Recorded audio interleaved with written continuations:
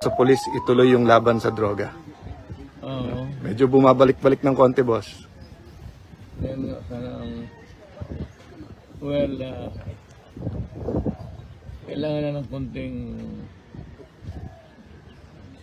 sa a concrete ah, statement, a very strong statement coming from the executive na he will protect you when you do it right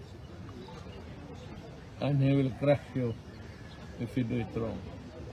Dalawa lang naman yan mga dre. Tama o mali. Mamili kayo. Doon kayo sa mali. Disgrasya kayo. Dito sa tama, eh, maligaya tayong lahat. Ako po hindi na presidente, pero ganoon pa man.